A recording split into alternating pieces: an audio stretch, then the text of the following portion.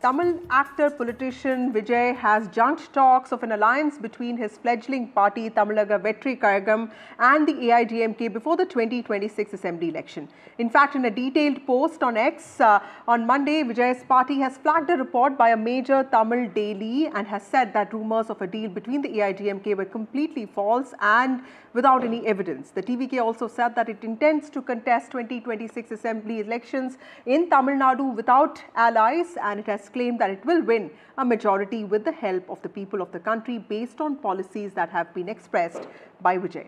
Remember, we are talking about Tamil Nadu, known for its charismatic politicians. Since AIDMK founder MGR or MG Ramachandran countered the DMK in the 1970s, many players particularly from the Tamil film industry, have tried in the last 50 years to offer people of the state a third option but have not been really successful. So will Vijay succeed where many others have failed? Will his fan base translate into a strong and loyal voter base? What will be his position when it comes to issues uh, core to Dravidian politics, including the debate around Hindi imposition, even NEET? Will he be consistent with those positions? And more importantly, can Vijay win big in 2026 without the AIDMK or a major ally? That is what we will be discussing today. Joining us now is uh, R. Rangaraj, who's a senior journalist. Uh, he also supports the TVK. Uh, we also have uh, Rao, who is a political analyst. Thank you so much for joining us. We'll also be we'll also be joined by more experts. Starting with you, Mr. Pulla Rao, sir, you how do you see this? How do you see the chances of Vijay realistically? Because uh, while he has talked about what uh, his party would be, mean, has formalized his party. Uh, the DMK has won three elections in a row quite comfortably. There is forever this uh, question about a vacuum existing in Tamil Nadu, but who is going to really fill that vacuum of an op opposition party? You know, as you rightly said, the election is in 2026. DMK has won three of the last elections, two parliament elections, one assembly election, outright hands down. No charismatic figure has appeared in the ADMK or in any of the opposition parties to challenge the DMK. Yes, Mr. Our latest thing is Vijay has emerged. He's got a big fan base. Nobody denies that. He left films or took a leave of absence at the height of his uh, film popularity, but he he's to be totally tested. Not a single test he has passed yet. Nothing so far. He has simply just said, I'm going to contest, I'm going to do this, I'm going to do that, which is fine. This is a free country. But so far, we have seen nothing. And already there are talk of alliances. Two years, more than two years before the next elections. Obviously, you know the old saying, until something is officially denied, it cannot be assumed to be true. So there must have been some negotiations, and they have freedom to do it. They have freedom. Nobody denies it. Right. But it is too early, and it, he has taken tentative steps. There's nothing new yet. He is popular. So how do we chart this course? It is still very, very vague. Right. Mr. Rangaraj, uh, how will you differentiate uh, Mr. Vijay's entry into politics with someone like, say, um, uh, you know, for that matter, uh, even uh, um, um, DMDK's uh, DMDK party, or for that matter, even Kamal Haasan because Vijayakanth was not really in the peak of his cinema career when he entered politics, but he was doing a lot of philanthropy, he was doing a lot of other activities. Vijay is still acting in movies, he has made this entry. Do you see his career path being very similar to, say, someone like Pawan Kalyan, who has now emerged as a very strong figure in the neighboring state of Andhra Pradesh, but that too after many failures. Yeah, uh, good evening. Uh, first of all, uh, a bit of a correction. I'm not a TVK supporter. Hmm. I'm merely a senior okay. journalist. Hmm. But I wish him well, like many others. Uh, a new aspirant in uh, politics uh, has come into play. Yes. And like many others, okay, everybody would like to wish him well and hope for the best. Now, the main thing about Vijay is he has he has done well, uh, as you say, in the T20 parlance. He has begun well in the first power play. He's got off to a good start, but then he has got the rest of the innings to work on. Hmm. So uh, that's a different kettle of fish. Hmm. Uh, so the, uh, he has already grabbed attention. He is now the center of uh, attraction, and most television debates, the Tamil channels are revolving around uh, what is going to be TV, TVK strategy, who are going to be his alliance partners, if any. Right. And what is going to be his stand. So there's plenty of buzz and traction about TVK, but he has got to capitalize on that.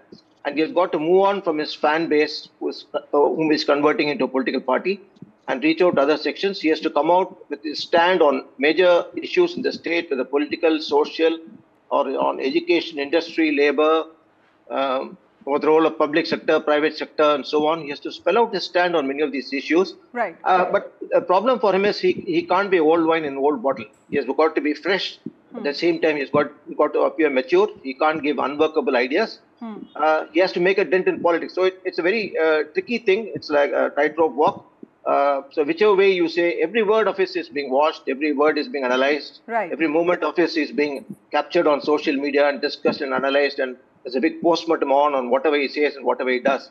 So he has got to be careful. At the same time, he has to appear new and offer something different uh, to to the political spectrum uh, as compared to uh, Vijayakanth. Yes, he got about eight to eleven percent when he began. Right. Kamal Haasan less, around four percent. Seeman is around eight percent, but he's contesting all the seats. That's why his vote percentage is high. Right. So uh, many experts think that he may not cross the uh, 5 to 8 percent uh, barrier on his own and he may need allies. But the important statement uh, just made yesterday, uh, that is his party spokesman, Right. has uh, clarified that there will be no alliance with the ADMK. So there's a lot of buzz of whether ADMK will align with uh, TVK, but obviously, as I said in uh, my last show with, on NDTV, that Vijay has not started his party to make someone else the chief minister. Okay. So obviously, he'd So, so, be the so he's not going to be a candidate. kingmaker, he's going to be the king himself. Okay, Kalyan Yes. Raman.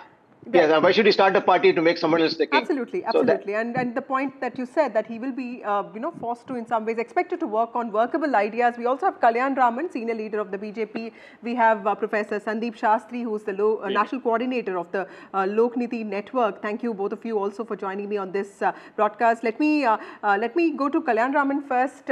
Sir, BJP in some ways has not been able to put up a strong counter that it was uh, promising. But if you look at the vote share, it seems to have really increased. Uh, it has polled 18.27% of the votes in Lok Sabha elections of 2024. In some ways, it has dislodged the AIDMK from the second slot in 12 out of the 39 constituencies. How do you see the B- uh, future of the BJP? Because clearly, you know, in the cultural context, Vijay might be fitting in better but the BJP is also a national party. Do you think that is a handicap for the party in Tamil Nadu, or do you see this uh, uh, growing? Do you see this as an advantage uh, for the BJP in Tamil Nadu?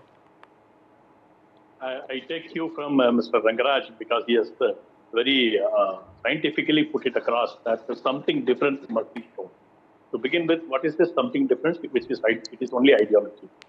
BJP being a party which is driven by nationalism and, and uh, cultural uh, Bharat is the only alternative ideology available to the ideology. As simple as that. What something different which I can show, I am yet to see. So let him emerge, let him show his mettle. That is for something to see. Now, looking at what had happened in 2014 and 2024, we have scored over 18% consistently in both the Lok Sabha elections, barring 2019, in which we went into an alliance with JDMC. So, if there is no alliance, BJP is going to keep on improving on its value in terms of percentage. Right. Now, the days to come are going to be the days of growth hmm.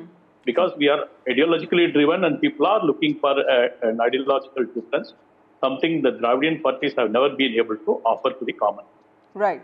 That's So, very interesting. so the days that are so the days for the BJP, the upcoming days for the BJP in Tamil Nadu, you say uh, will mark growth. Uh, uh, Professor Shastri, experts. Indeed, yes.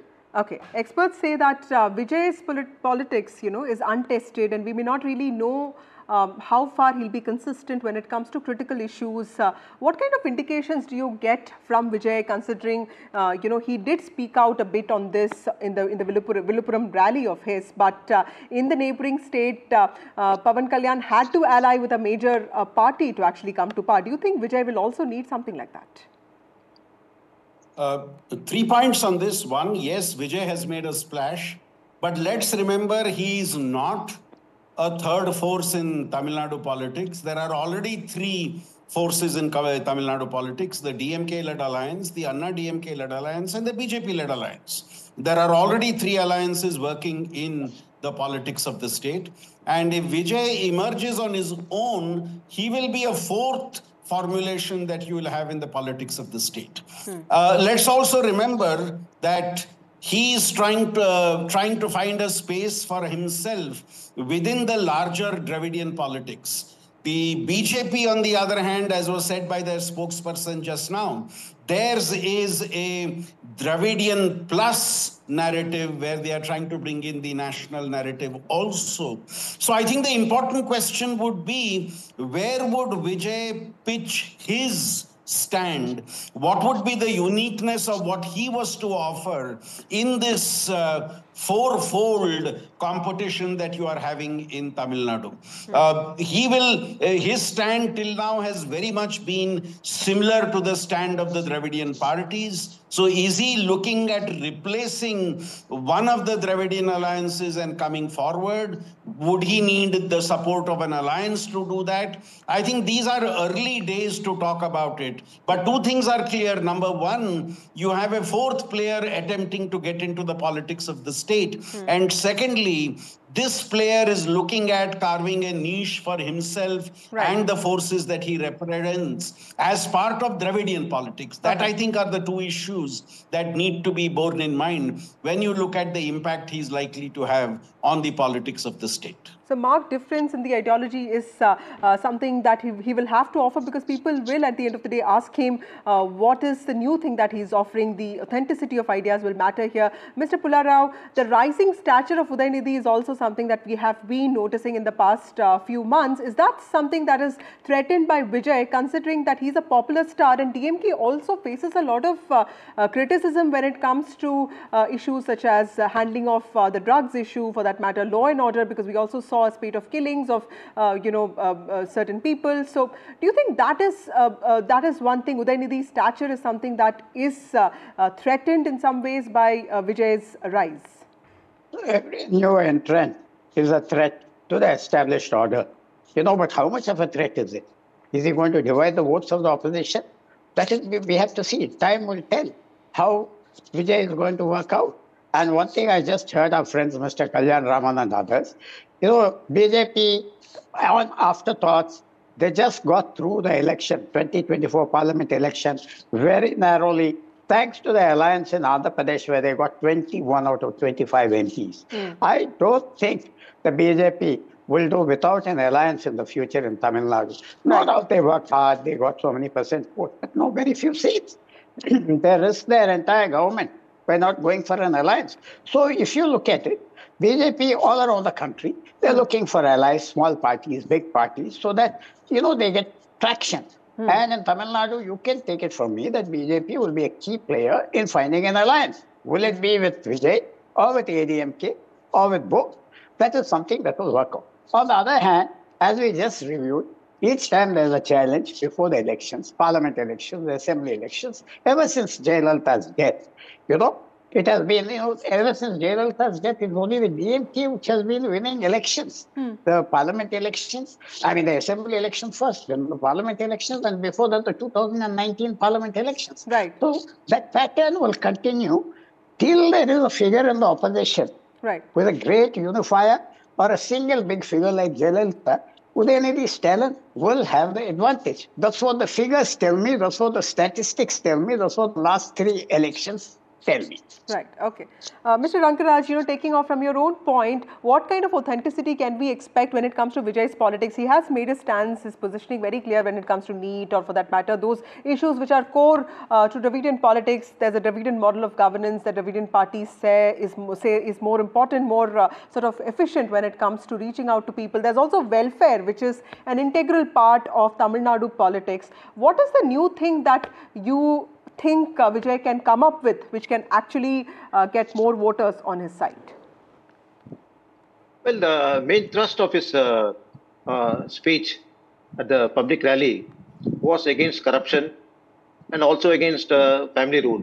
But these subjects have all, already been dealt with uh, right from Jayalalitha's days by way of criticism of the DMK. the problem for Vijay is he has positioned himself in the Dravidian mold and he's trying to be one more player from the uh, Dravidian platform. So that kind of uh, limits himself to a certain agenda within the Dravidian uh, spectrum. Hmm. Uh, at the same time, he is not open out to BJP. Our, our, friend was mentioning about the BJP uh, possibly having an eye on him because now that they could not get Rajinikanth on board, they may think maybe Vijay may be a good actor to be on their side, like uh, Pawan Kalyan, as you mentioned in uh, in Andhra. But Vijay, in his speech, has also been critical of what he calls fundamentalism, uh, though he has not directly named the BJP and uh, Prime Minister Modi. So he has said he is against that kind of politics. So uh, at the moment, it looks like he's not in the uh, likely to move towards the BJP fold, and uh, or nor with the ADMK. So which means he's banking on a totally new front Okay. with some okay, I'm uh, completely out of parties. time. Last word, uh, Mr. Kalyan Raman, taking off from what Pulla Rao said. Do you see the BJP and AIDMK coming together, given that the number of challenges is increasing, and it is actually better for the parties to actually, uh, you know, find friends rather than be enemies? Uh, within BJP, I am considered to be a person who supports BJP ADMK alliance. And there are people within the party who have different opinion that we should go it alone. It is a matter to be decided by the central leadership. We will not have much say in it. But Okay. then the party's interest will be taken into consideration in deciding a, Okay. uh, uh, an alliance factor. Professor Shastri, uh, your, your word on this. Do you see the AIADMK and BJP coming together, given that the uh, num- the rise of uh, Vijay and also the Udayanidhi Stalin, you know, all of this, uh, do you think that the, these can be political aspects that could uh, bring the AIADMK and BJP coming together? Also, BJP's own numbers uh, nationally. Uh, given the last uh, Lok Sabha election results, I think there is a distinct possibility that the BJP and the Anna DMK could come together because both require the support of the other to be able to effectively challenge the DMK. And with Vijay as a new player, I think it will be interesting if the BJP uh, manages to get him too as part of their alliance. But I think the BJP would immediately focus on bringing the Anna DMK into its uh, alliance because there seems to be more uh, similarity in terms of uh, what the two believe in. But these are interesting days for Tamil Nadu politics, and given the fact that uh, state assembly elections are uh, uh, is the next major poll in the state, I think that will be the time when the realignment of forces would happen. But I would also believe that the chances of the BJP and the ADMK coming together are much stronger because that would then help them challenge the DMK, which has been winning continuously both the Lok Sabha and the assembly elections. Professor Shastri, thank you all of you for joining me on this uh, uh, show. Will Vijay be able to make a mark uh, in a state where several other political leaders from the film fraternity have failed to do so? That remains to be seen.